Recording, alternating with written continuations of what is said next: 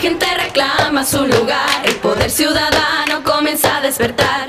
Una ola gigante, una nueva realidad. Y en esta nueva actitud vamos a gobernar. Kiko Vega, con Kiko la gente más